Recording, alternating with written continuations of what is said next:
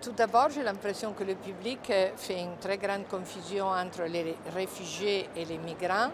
Euh, qui ne sont pas exactement la même chose. C'est-à-dire avec entre le stock, toutes les personnes qui sont actuellement chez nous et qui ne sont pas originaires de notre pays, et ceux qui arrivent à la suite des, grands problèmes qu'on a en Syrie et qu'on a eu dans différents moments dans différentes parties du, monde, surtout en Afrique.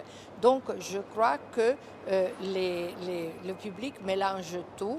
Il aurait besoin d'avoir des idées plus claires et d'être mieux informé euh, de, des phénomènes dans lesquels vraiment l'aide humanitaire est essentielle, mais aussi des politiques de contrôle des flux prises au niveau euh, européen et de son propre pays sur ce qui concerne les migrations économiques, disons.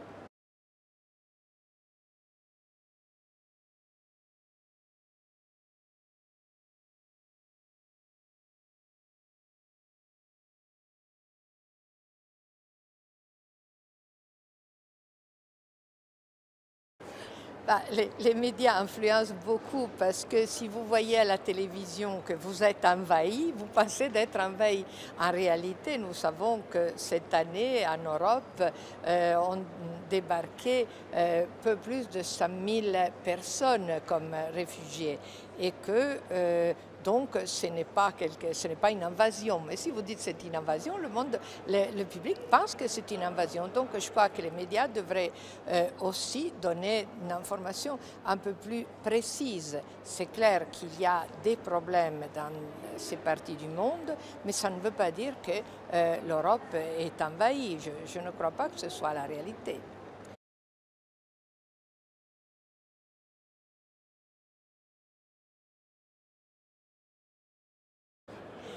Je pense, d'abord, il faudrait peut-être euh, faire moins de généralisation et aller parfois écouter les personnes qui arrivent, hein. euh, créer, euh, donner aux, migrants, en particulier quand c'est un réfugié qui vient d'une situation de guerre avec sa famille, qui a, qui a vécu des, phénomènes terribles, des, expériences terribles, il faudrait peut-être donner un peu plus de couverture aux faits concrets, réels, aux personnes. Savoir que ces migrants, ce n'est pas un flux infini de gens, c'est un certain nombre important de gens qui nous demandent de l'aide et qui ont vécu des expériences terribles. Je pense qu'aller un peu plus vers les personnes concrètes euh, permettrait d'éliminer euh, aussi cette tendance à considérer plus le nombre que les personnes derrière, les, les êtres humains derrière les nombres. Ils sont nombreux, mais en réalité, en réalité, euh, moi je vis en Piémont par exemple, hein, ou même une personne qui vit en Sicile. Hein, combien de réfugiés, euh, pas de migrants économiques qui sont là et qui travaillent, qui sont nécessaires en plus, et il faudrait l'expliquer, combien de réfugiés connaît-il? Combien euh, il, en a vu? Euh, Si on demandait aux gens de réfléchir, finalement, si tout va bien, on a eu l'occasion d'en connaître quelques-uns, pas plus. En réalité, ils arrivent et avec les difficultés que nous connaissons, l'Europe devrait nous donner un vrai coup de main euh, à, gérer les flux. Mais euh, à la fin, ils sont distribués partout en Europe et euh, ils y arrivent régulièrement, irrégulièrement, mais ils arrivent en Europe.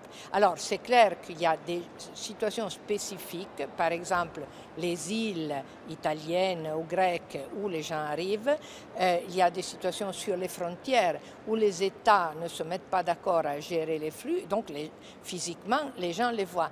Paradoxalement, ceux qui ont le plus peur sont ceux qui sont dans, des zones rurales dans lesquelles ils n'ont jamais vu un réfugié. Hein. Et ils voient les migrants qui viennent peut-être récolter les tomates plutôt que les olives, plutôt que euh, d'autres produits, les oranges, et qui sont absolument nécessaires et qui sont sous-payés et maltraités. C'est ça qu'ils voient. Euh, les réfugiés, la plupart des Européens n'en ont jamais vu un. Et je crois que faire un sondage serait utile pour les médias, faire un sondage auprès des gens en disant combien de réfugiés concrets vous connaissez. Est-ce que je peux vous en présenter un?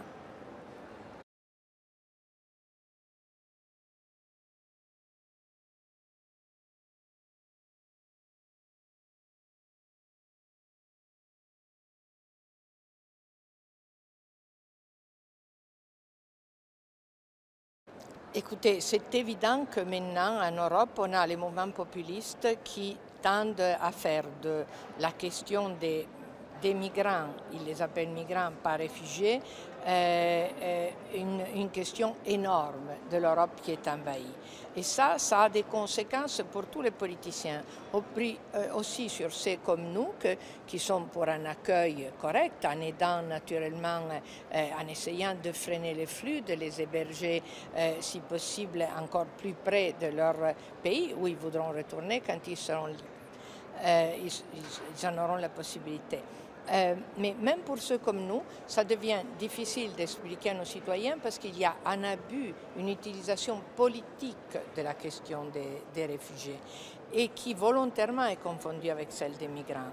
Euh, je crois que hum, nous-mêmes, et avec l'aide des médias, nous devrions essayer d'expliquer euh, aux citoyens la différence et dire que les migrants en Europe sont nécessaires. Nous sommes un continent qui vieillit et nous n'avons pas la possibilité de couvrir un certain nombre d'emplois sans avoir des migrants. Parfois ils sont à l'intérieur de l'Europe, c'est des Européens, parfois ils viennent de l'extérieur.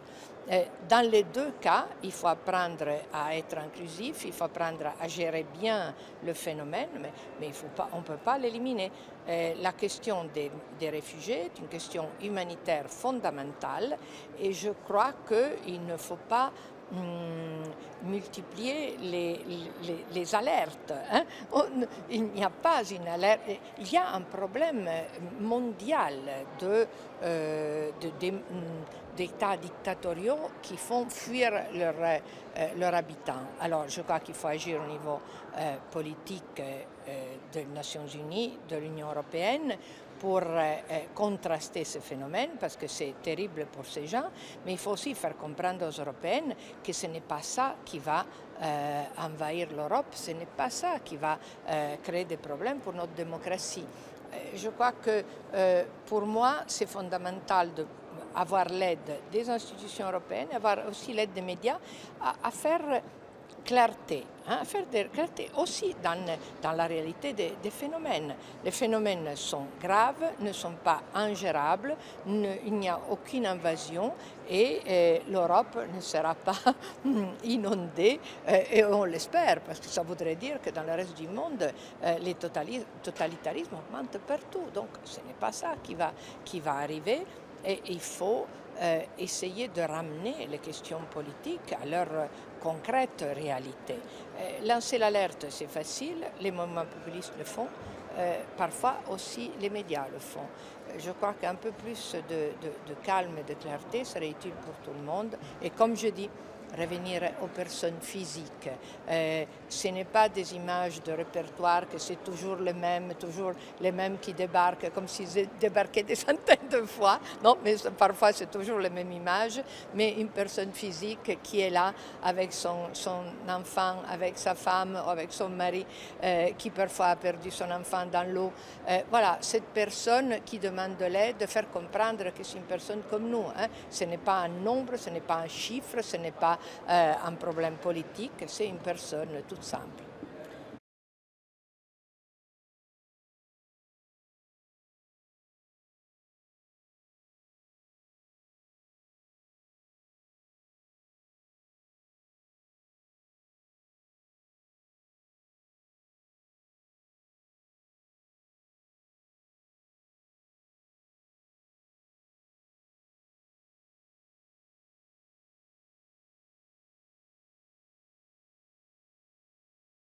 Parce que beaucoup de nos États sont eux aussi pris par le complexe de l'invasion. Alors l'Union européenne doit faire un certain nombre de choses, réformer Dublin, parce que les, les réfugiés qui arrivent en Europe viennent en Europe, ne viennent pas dans un pays euh, de, l'Union et pas dans le premier où ils arrivent, ils veulent venir en Europe. Donc euh, un Dublin qui soit commun à tous les Européens, c'est très important. Pour faire cela, il faut avoir euh, une une politique commune des frontières, euh, et de, garde-frontières et de garde-côtes. Et ça, on est en train de le faire, mais il faut le faire plus rapidement. Trois, avec, en mettant des ressources, hein, parce que c'est toujours, si on a 10 gardes-frontières européennes et tout le reste c'est mis par les pays de, qui sont sur la frontière, ce n'est pas européen ça.